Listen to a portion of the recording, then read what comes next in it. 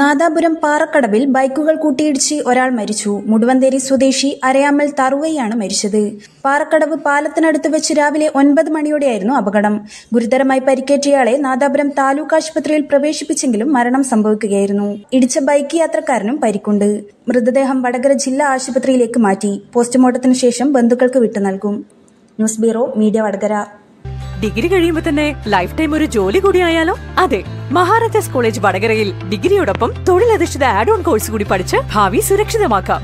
B A B com B B with hospital administration B A B com B B with logistics and supply chain management B voc in hospital administration B voc in logistics operations management diploma in hospital administration diploma in logistics and supply chain management diploma in hospitality management കൂടാതെ plus one plus two plus two NIOS six months plus two B O S S E six months well furnished class rooms and fully equipped labs അച്ചടക്കത്തോടെയുള്ള ക്ലാസുകൾ.